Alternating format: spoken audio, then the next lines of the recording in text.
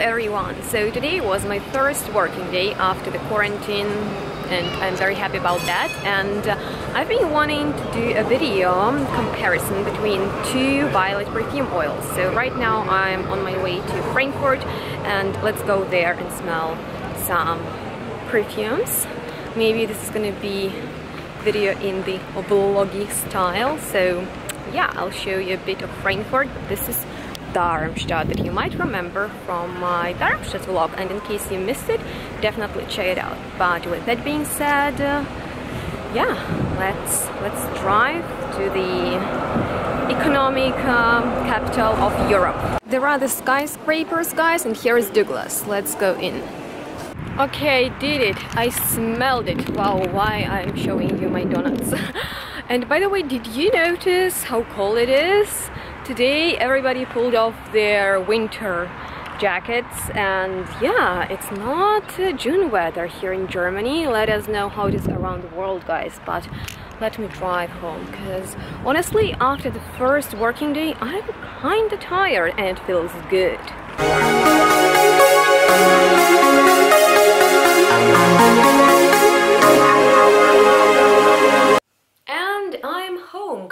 by the way I'm sorry that I didn't show you more of the city but I was in a hurry and also quite hungry after work so I quickly went to Douglas and unfortunately couldn't film there because a lot of uh, sales assistant uh, got back to work yay just like me so I just um, applied a ton of the perfumed oil that is called the Kiss from the Violet from Gucci's Alchemist Garden collection that I've made a whole overview on and you can check out that video.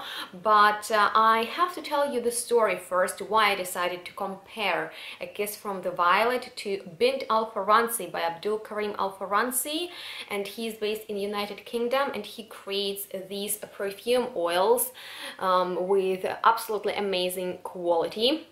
And literally I've been having this one for probably um, six months and uh, it doesn't matter how much I apply the bottle is still full. So I really like that but today I applied a lot of the oil mainly because when I apply just like a little bit like made just one stripe or something with it I couldn't smell much after a few minutes. And maybe I'm anosmic to some ingredients in there. I know that there is uh, musk and iris besides the violet uh, but it is very subtle. And you might remember that I've said that in my opinion Alchemist Garden collection is absolutely stunning and beautiful but some perfumes lack uh, performance, longevity and quality overall. That's why in my opinion they are not worth it for the quality but maybe just for the bottles and pretty scents. Well, with that being said, um, why I want to compare it to this perfume oil?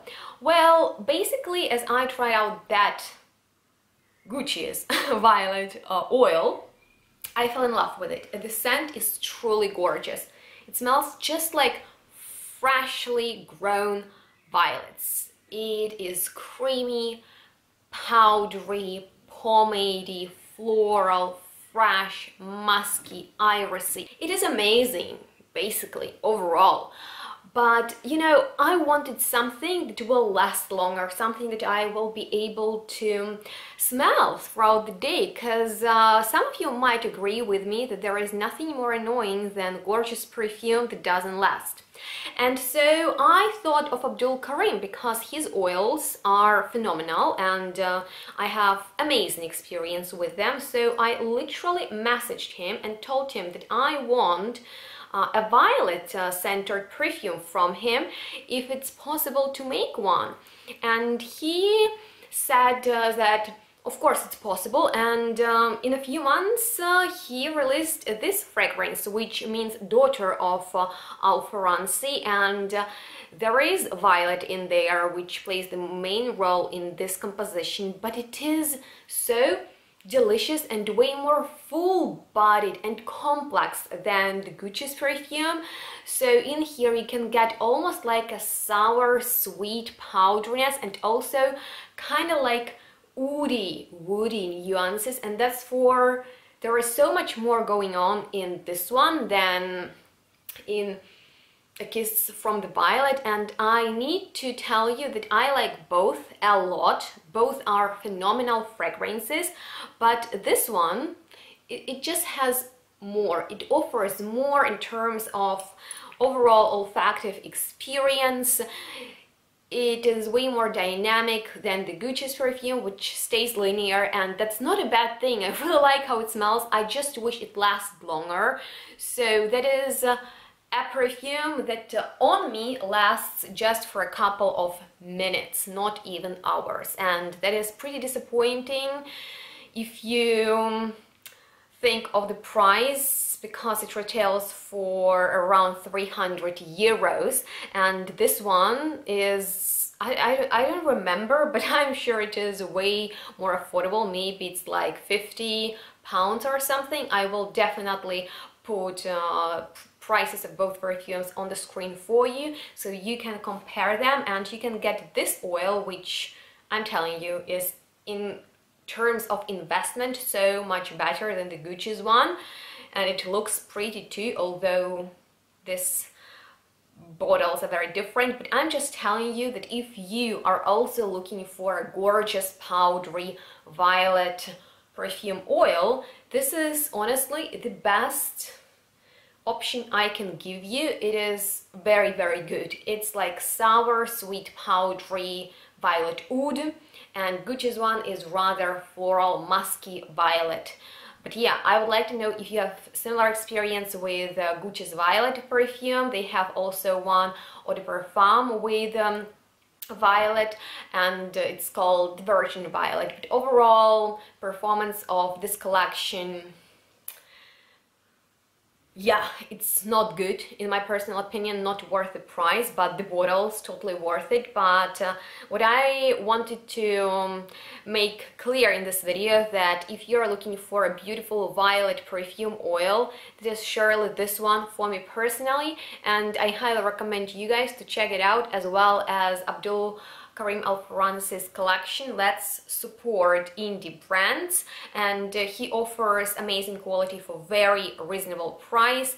And on that note, if you have any questions left, feel free to ask me anything you want in the comment as well as let me know if you like violety perfumes and uh, in case you do I've already created a top list of violet centered fragrances. I don't remember if I included this one into it um, that's basically me maybe uh, I didn't have it back then and if you like violet and maybe violet oils, let me know in the comments something that you can recommend me to try.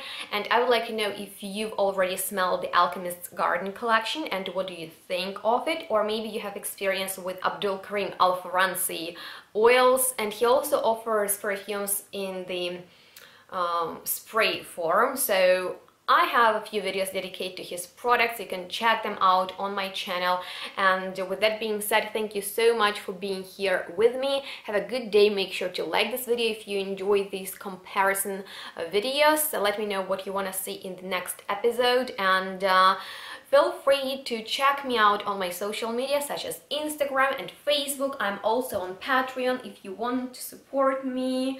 Extra support will be highly appreciated because although I got back to work, uh, we are starting really slow so I'll be working just a few hours a week.